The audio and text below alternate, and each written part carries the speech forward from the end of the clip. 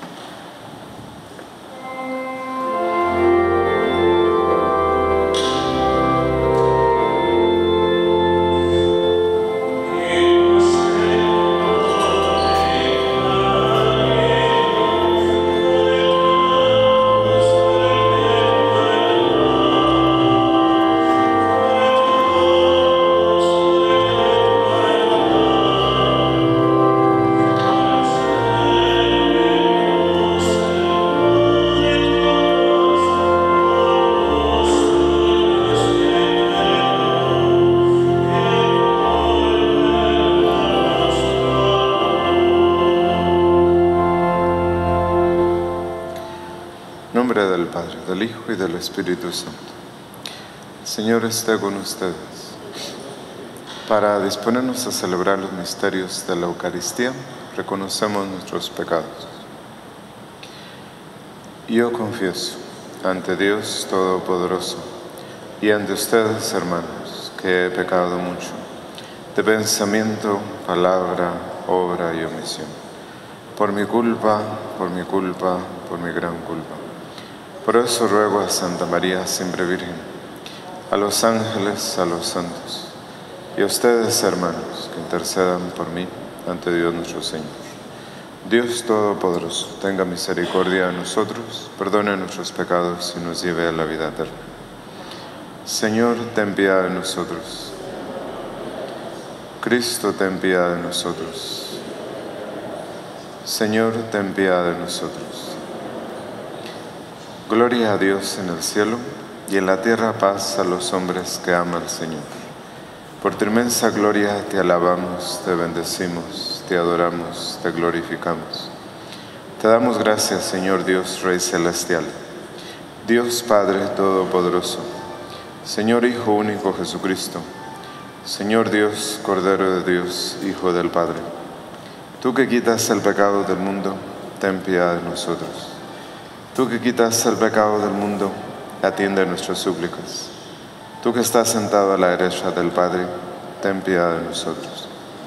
Porque solo tú eres santo, solo tú, Señor, solo tú, Altísimo Jesucristo, con el Espíritu Santo, en la gloria de Dios Padre. Amén. Oremos.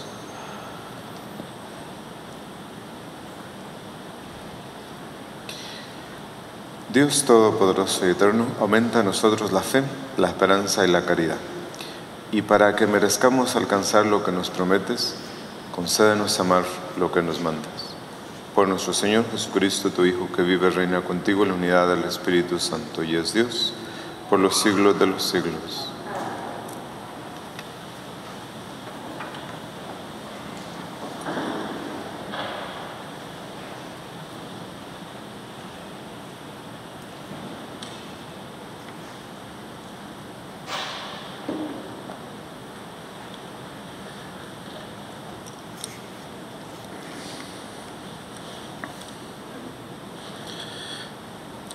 Lectura del Santo Evangelio según San Mateo.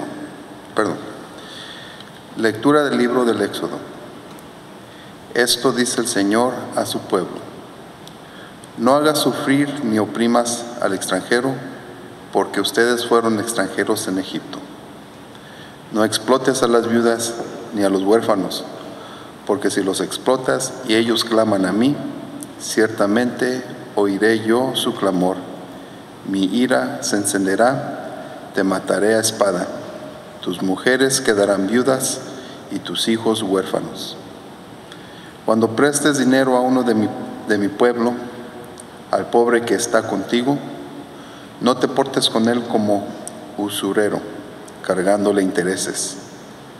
Si tomas en prenda el manto de tu prójimo, devuélveselo antes de que se ponga el sol porque no tiene otra cosa con que cubrirse. Su manto es su único cobertor y si no se lo devuelves, ¿cómo va a dormir? Cuando Él clame a mí, yo lo escucharé, porque soy misericordioso. Palabra de Dios. Tú, Señor, eres mi refugio.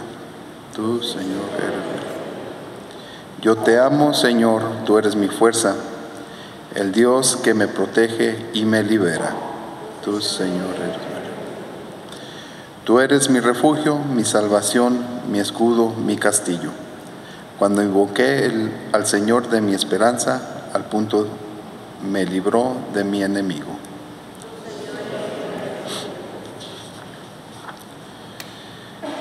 Lectura de la primera carta del apóstol San Pablo a los tesalonicenses. Hermanos, bien saben cómo hemos actuado entre ustedes para su bien.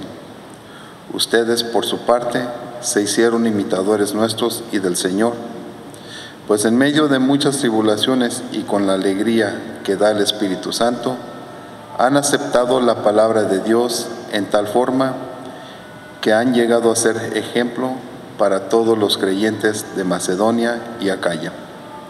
Porque de ustedes partió y se difundió la palabra del Señor, y su fe en Dios ha llegado a ser conocida no solo en Macedonia y Acaya, sino en todas partes.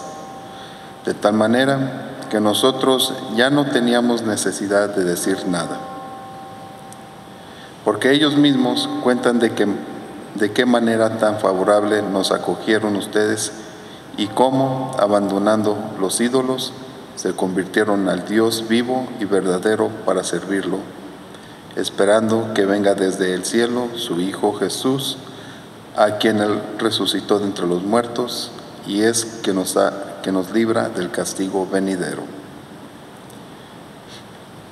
Palabra de Dios.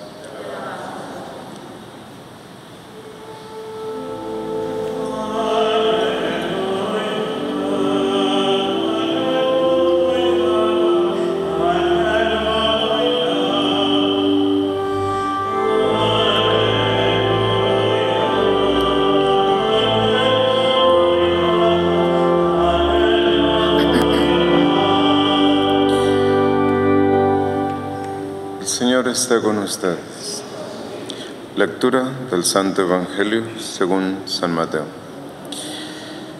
En aquel tiempo, habiéndose enterado los fariseos de que Jesús había dejado callados a los saduceos, se acercaron a él.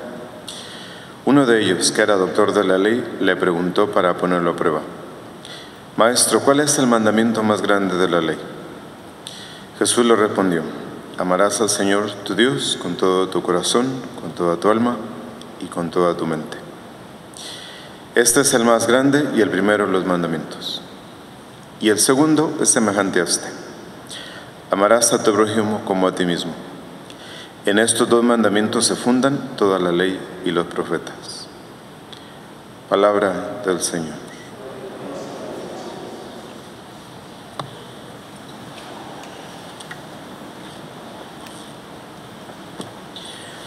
nombre del Padre, del Hijo, del Espíritu Santo.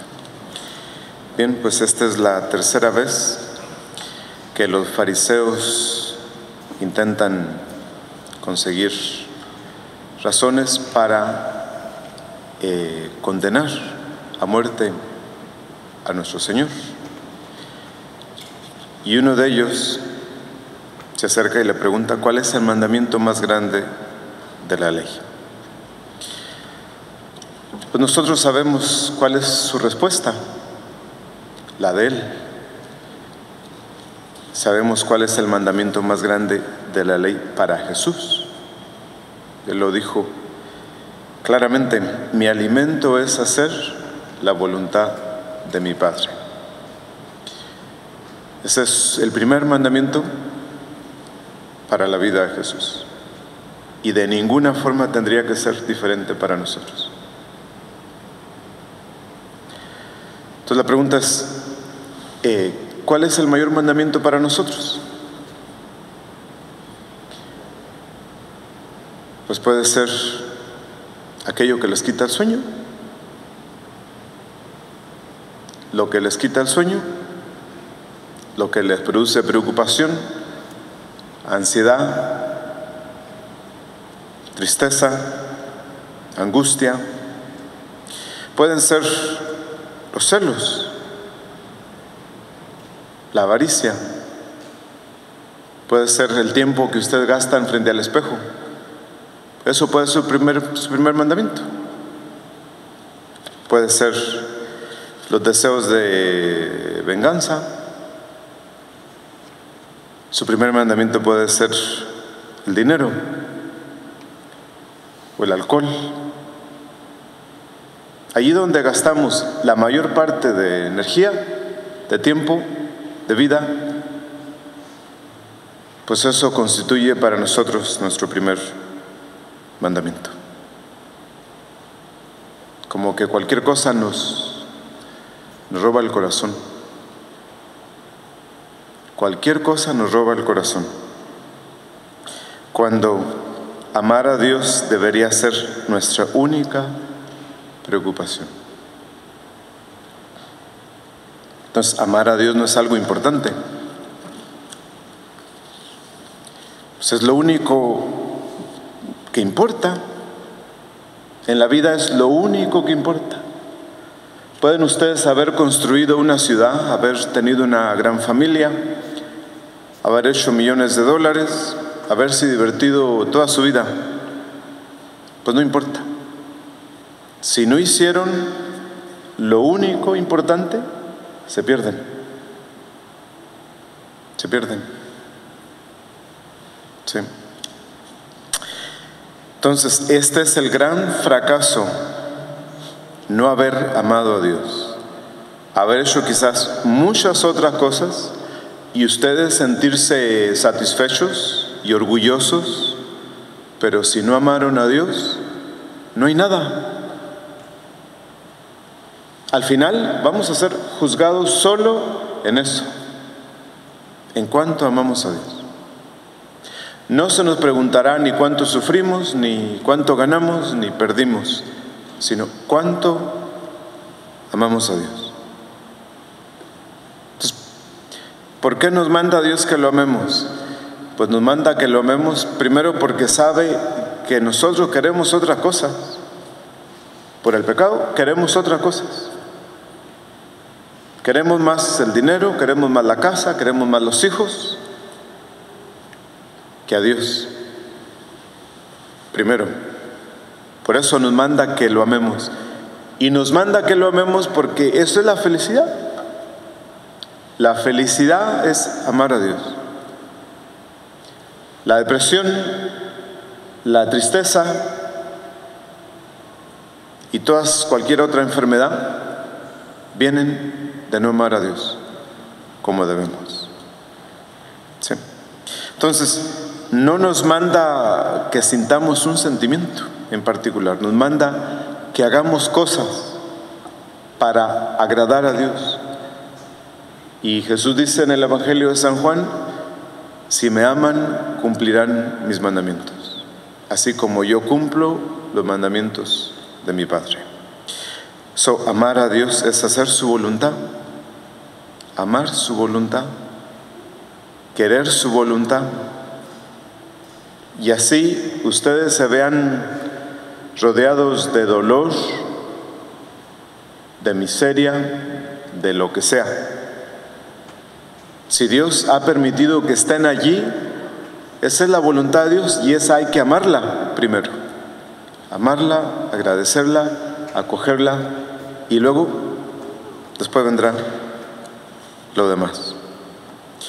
So dice, en estos dos mandamientos se fundan toda la ley y los profetas. Es decir, en amor a Dios y en el amor al prójimo, encontramos nosotros la alegría, la felicidad. En ninguna otra cosa. En ninguna otra cosa. ¿Sí? Entonces, amar a Dios es hacer su voluntad. ¿Sí? Simple. Eh, y con, los, con el prójimo, pues ahí están los, ah, las obras de misericordia, corporales, espirituales. Al prójimo lo amamos, lo servimos, lo perdonamos por amor a Dios. Que si nos cae bien o nos cae mal no, no hace ni la menor diferencia. Nosotros le servimos a la otra persona. Y ya, por amor a Dios, no porque me caiga mal. ¿Sí? Entonces, se peca contra el primer mandamiento cuando somos indiferentes a lo que Dios quiere.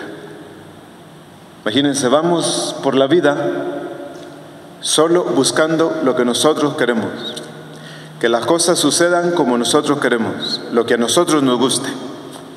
Lo que Dios quiera, no, nos es indiferente. Nos es indiferente. Fíjense que hay, bueno, en 1900, perdón, de 1873 a 1890, 17 años, duró una religiosa dialogando con otra compañera suya, hermana religiosa, que se había muerto. Se murió en 1873. Y se llamaba la hermana Gabriela, que hacía las cosas como ella le daba la gana. Y le decía a la otra, la hermana María de la Cruz, le decía, al cabo, tú me vas a tener que sacar del purgatorio. Pues así fue. A los dos, tres días que se murió, se le aparece con unos gemidos, con unos ruidos horribles, hasta que ésta le pidió, la hermana María de la Cruz le pidió que le dijera quién era. Ya le dijo, pues ¿te acuerdas que yo te dije que me tendrías que sacar del purgatorio? Entonces, 17 años con ella, casi todos los días. Y entonces una de las cosas que la hermana le dijo, dice, hay un lugar en el purgatorio eh, a quienes no les sirve nada de lo que hacemos por ellos. Como que si Dios no las escuchara.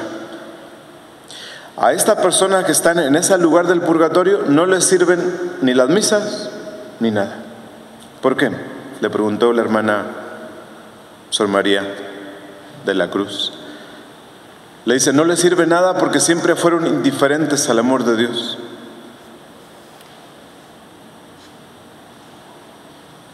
¿Sí?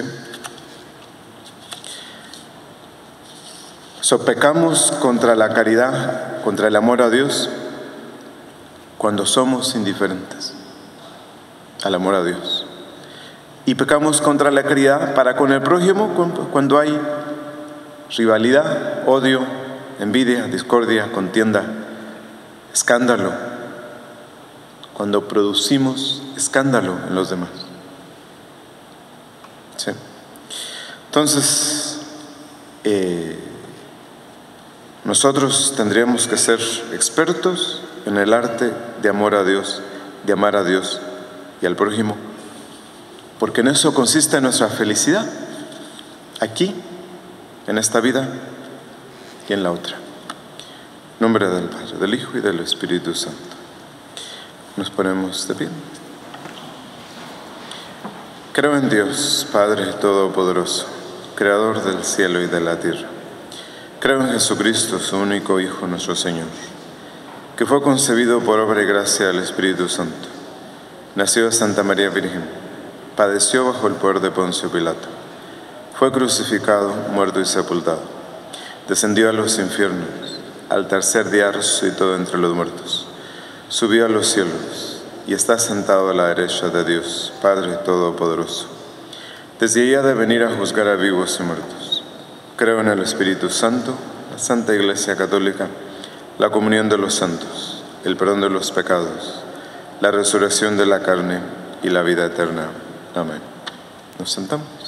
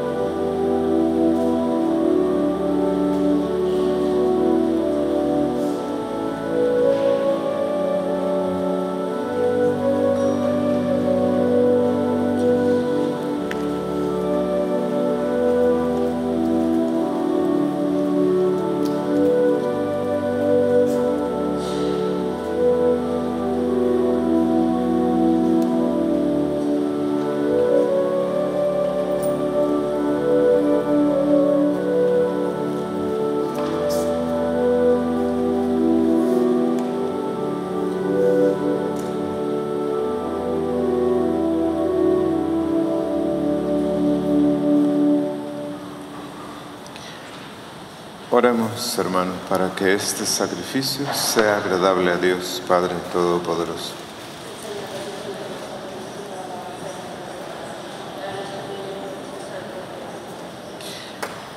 Mira, Señor, los dones que presentamos a tu majestad, para que lo que hacemos en tu servicio esté siempre ordenado a tu mayor gloria.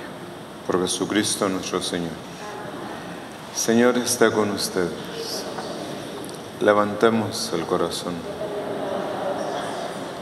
Demos gracias al Señor nuestro Dios. En verdad es justo y necesario nuestro deber y salvación darte gracias siempre y en todo lugar, Señor Padre Santo, Dios Todopoderoso y Eterno. Pues aunque no necesitas de nuestra alabanza, es un tuyo que seamos agradecidos. Y aunque nuestras bendiciones no aumentan tu gloria, nos aprovechan para nuestra salvación por Cristo Señor nuestro. Por eso, unidos a los ángeles, te aclamamos llenos de alegría. Santo, santo, Santo es el Señor, Dios del universo. Llenos están el cielo y la tierra de tu gloria. Oh sana en el cielo. Bendito el que viene en el nombre del Señor. Oh sana en el cielo.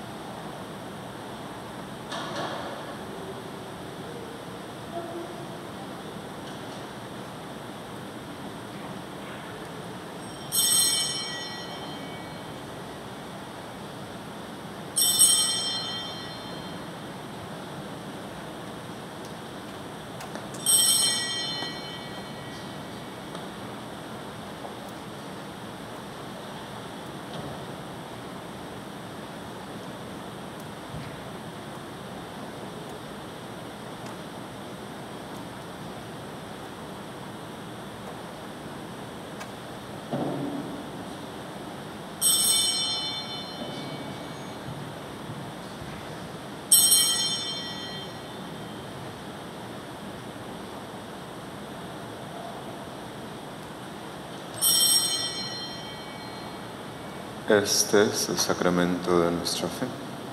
Seamos tu muerte.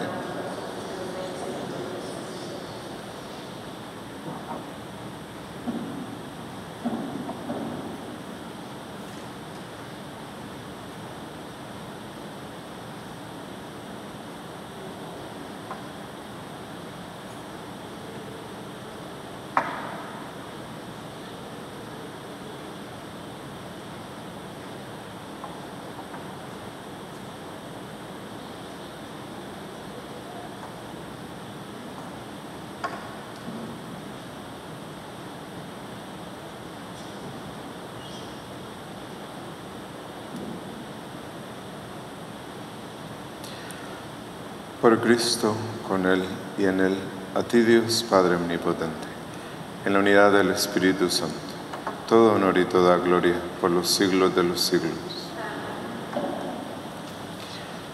Y fieles a la recomendación del Salvador y siguiendo su divina enseñanza, nos atrevemos a decir, Padre nuestro que estás en el cielo, santificado sea tu nombre, venga a nosotros tu reino hágase tu voluntad en la tierra como en el cielo.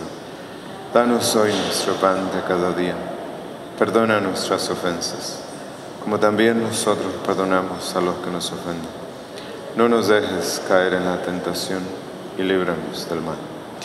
Líbranos de todos los males, Señor, y concédenos la paz en nuestros días, para que, ayudados por tu misericordia, vivamos siempre libres de pecado y protegidos de toda perturbación mientras esperamos la gloriosa venida de nuestro Salvador Jesucristo. Señor Jesucristo, que dijiste a tus apóstoles, la paz les dejo, mi paz les doy. No tengas en cuenta nuestros pecados, sino la fe de tu iglesia. Conforme a tu palabra, concédele la paz y la unidad. Tú que vives y reinas por los siglos de los siglos. Que la paz del Señor esté siempre con ustedes. Cordero de Dios, que quitas el pecado del mundo, ten piedad de nosotros. Cordero de Dios, que quitas el pecado del mundo, ten piedad de nosotros. Cordero de Dios, quitas el pecado del mundo, danos la paz.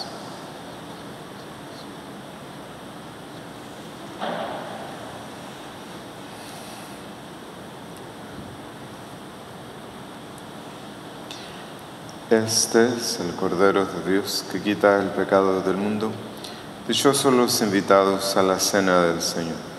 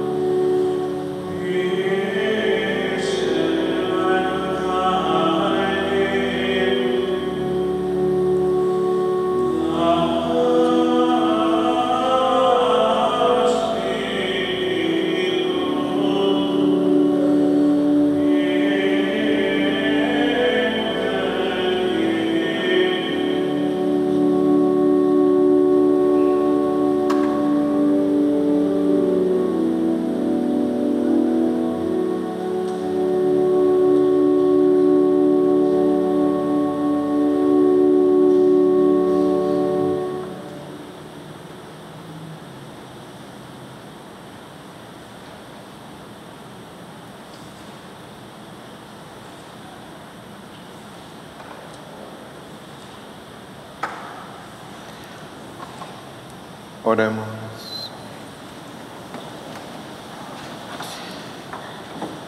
Que tus sacramentos, Señor, produzcan en nosotros todo lo que significan, para que lo que ahora celebramos en figura lo alcancemos en su plena realidad. Por Jesucristo nuestro Señor. Señor está con ustedes. La bendición de Dios Todopoderoso, Padre, Hijo y Espíritu Santo, descienda sobre ustedes y permanezca para siempre. Vayamos en paz, la misa ha terminado.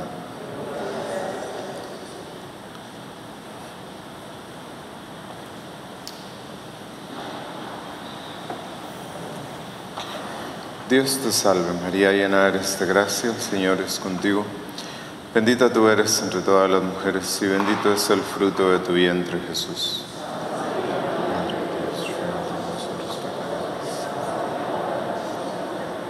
Dios te salve María, llena eres de gracia, Señor es contigo.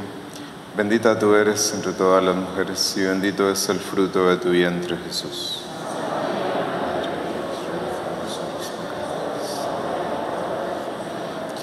Dios te salve María, llena eres de gracia, Señor es contigo. Bendita tú eres entre todas las mujeres y bendito es el fruto de tu vientre Jesús.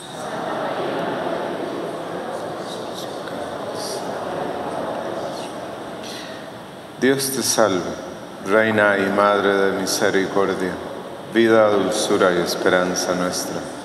Dios te salve, a ti llamamos desterrados hijos de Eva. A ti inspiramos gimiendo y llorando en este valle de lágrimas.